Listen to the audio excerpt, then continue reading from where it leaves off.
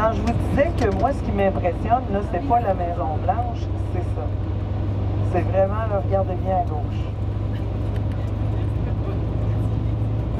Et voilà. Photographiez pas ça de loin comme ça, là. On y va dans ce coin-là. Je peux juste vous le montrer.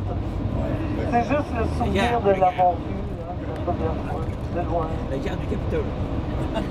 la garde du Capitole.